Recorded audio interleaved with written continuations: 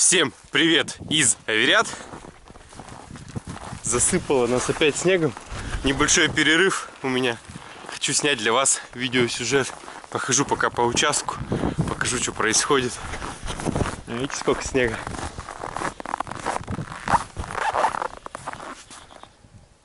Кошмар. Видно, не видно. Мадам Брошкина, поздоровайся. Но на самом деле сегодня у нас очень сложная тема для разговора. Мы живем в мире э, вещинизма, монетизации, сами того не понимая э, или не осознавая. Ну или просто не хотим обращать внимание на эти вещи. В наше время принято мериться, э, кто сколько зарабатывает, где работает, какая ли у него престижная работа, квартира, в каком районе он живет. Мы сами этого не замечаем. Дружба ушла куда-то на второй план. Ну, как правило, это есть, конечно, исключения, но вот я вот так вот наблюдаю, как бы. Раньше, раньше ценилась дружба, коллектив. Сейчас такого нету, сейчас каждый сам за себя. И, как говорится, вот нож в спину на работе поймать очень легко принято закладывать друг друга. В некоторых компаниях даже бонусы за это платят. Давайте я зайду сюда. Когда ты закладываешь своих сотрудников. Ты что, загуляла у меня, что ли? Или замерзла? Мы же только что вышли погулять. Мартышка, ты что? Что-то я не понял. Замерзла, что ли? Ну, давайте еще полчасика погуляем и домой пойдем. Иди сюда, тут теплее. Вот. Принято закладывать, да, вот я на этом остановился. Да хорошая, хорошая моя морда, морда, морды, морды мои, морды. Да какие вы сладкие. Ну, почему-то вот такой мир у нас сейчас. Да все. Я не могу вообще балдеть. Ну что, что, что ты моя хорошая, да что ты моя сладкая. Ну что, ну что, ну целоваться я не буду с тобой, ну давай, не будем, не будем. Сегодня не будем, ладно? Ну все, ну все, перестань. Вот, вот так мы гуляем. Ну не отвлекайте меня, все. Значит, смотрите, что я думаю. Что я думаю. То есть сейчас главное для всех это деньги. Ну, перестаньте. Я так не считаю на самом деле, что деньги это главное. Да, конечно, без них тяжело, без них сложно. Но почему, когда вот встречается какая-либо компания, зачастую такие, ну не то, что даже зачастую разговоры, там, знаешь, начинается с того, что вот там раз там достал телефон, положил, там, раньше вообще это было так вот, э, может, лет 10 назад, когда идешь где-нибудь там по улице, там, какой-нибудь телефон зазвонил, вот так вот берет телефон, так, вот так вот, чтобы все видели, посмотрели. Сейчас, может быть, конечно, меньше, потому что доступность стала больше, но это смешно. Люди разговаривают там о том, а сколько у тебя футболка стоит, там, 5000 рублей. Фу, что так стрёмно такая там. Или обувь, там, макасины. Сколько у тебя? Десятку стоит, если меньше, то это вообще хлам считается. Ну почему так-то? Почему у нас сейчас такое время монетизации-то и вещинизма? Мы об этом не задумываемся. У нас нету ценностей. Мы не думаем о том, что мы кушаем. Мы не думаем о том, где мы живем. Для нас главное машина, статус наш. Люди покупают такие машины, как BMW, Мерседесы, а живут в хрущевках или, я не знаю, в каких квартирах. Бензина, на бензин денег нет. Зато крутая тачка. Я вот этого не понимаю. Брюки по 500 евро покупают. Ну, я вообще этого не понимаю. Зачем? Зачем? Зачем вы, вот для чего вы к этому стремитесь? Аккуратнее-то можно? Гонитесь за вот этими, за этой тенденцией. Да, это тенденция такая в мире сейчас. Вот все. Да и вещи-то некачественные стали. Машина, ну 5 лет, да, вот отъездила, уже как бы надо задумываться, что надо ее поменять. Куртку купил, сезон отходил, обувь тоже сезон, там может быть два. Вещи очень некачественные стали сейчас. Все ведется к тому, что вот деталька какая-нибудь сломалась там в мясорубке, все, на, новую мясорубку покупай. Раньше же такого не было. Все делали, как говорится, э, как это говорится, от души, не от души, а качественно все делают.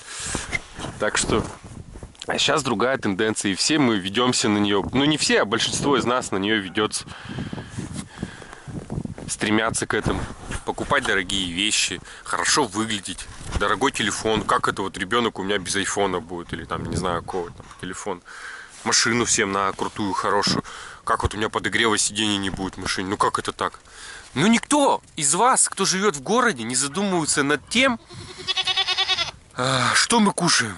Вот я вам задам вопрос, кто живет в городе. А как часто вы едите натуральные продукты?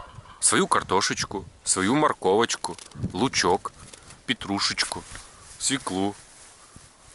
Да? Молочко свое пьете, козье или коровье. Сметанку домашнюю, маслечко, мясо свое, курятину, э, индюшатину, телятину, свинину. То, что вы покупаете где-то там, ну да, может быть это и хорошо, но не факт, что это хорошего качества. Зачастую сейчас э, фермеры как делают? Вот у меня есть 10 поросят, два моих, я их по-особому кормлю, а 8 у меня на продажу, я их там чем попало кормлю. Очень часто такое бывает. И никто, никто почему-то не задумывается над этим принято считать, что домашнее яйцо, ну да, домашнее, качественно. А чем кормили скотину? Никто не думает, никто никогда не спрашивает. И вот эта репутация честных фермеров, она как бы нарушается. И говорят, что вот, там некачественно или еще что-то, или почему так дорого у тебя? Ну потому что я у меня нету понимания, не, не понимания, а понятия э, продажи, э, то есть не то чтобы продажа скотины для себя или на продажу. Я вот могу взять любую курицу, убрать, как съесть сам, могу на продажу ее сделать. Яйцо тоже, я его не делю, у меня все одно. Я все делаю для себя, а излишки, если у меня остаются, я их продаю. И опять же, многие меня спрашивают, а сколько нужно денег э, для того, чтобы переехать э, жить за город? Ребят, ну у всех все индивидуально. Вот в этом мире вещинизма и монетизации сложно предсказать, что вам нужно, какие у вас критерии по жизни. Вы хотите, ходи, э, вы хотите ходить в Луи Виттоне там, или вам без разницы какую-нибудь треники оденете и футболочку рваную, вам без разницы. Понимаете, у каждого свое понимание. Отстаньте от меня. Кто-то может жить, вот как я, да, э, в 30 квадратных метрах, где полдома печка занимает, с бабушкой, с тещей и с женой. А кто кому-то и это и 100 квадратных метров мало. Понимаете? Все это индивидуально. И вот так вот мерить и говорить, э, вот чтобы уехать за город, нужно миллион рублей там.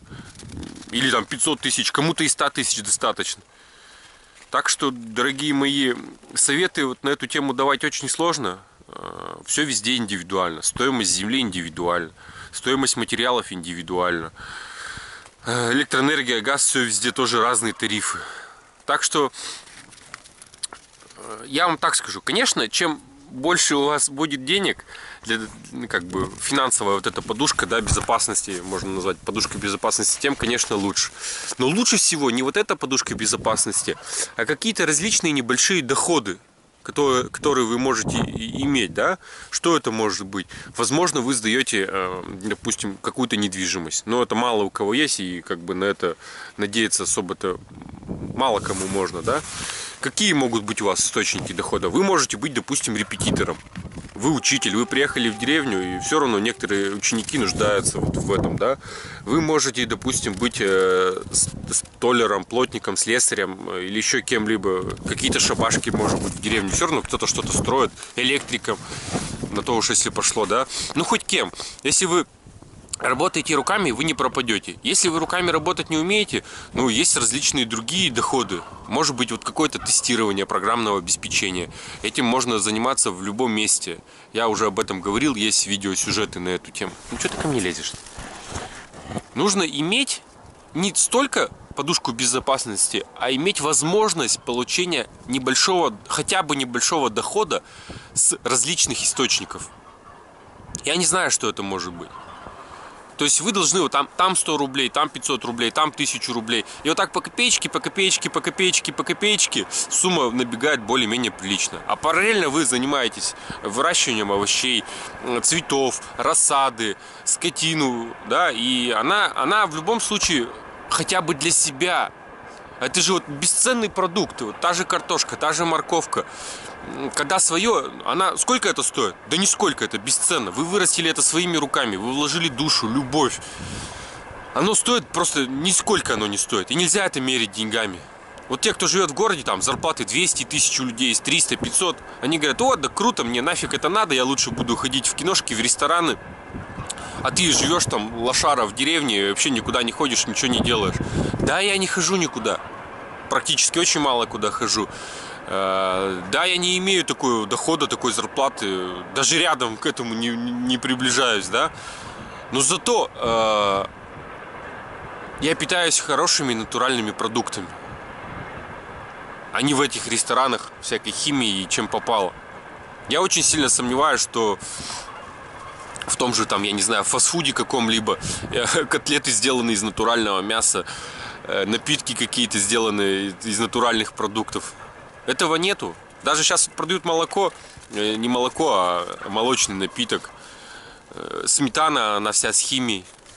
Вы не задумываетесь над тем, да, вы живете в городе, вы имеете, допустим, более высокий и стабильный доход у вас есть квартира, машина, вы часто ездите отдыхать, но вы не задумываетесь о своем здоровье, о здоровье своих детей. Но сколько сейчас у нас патологий?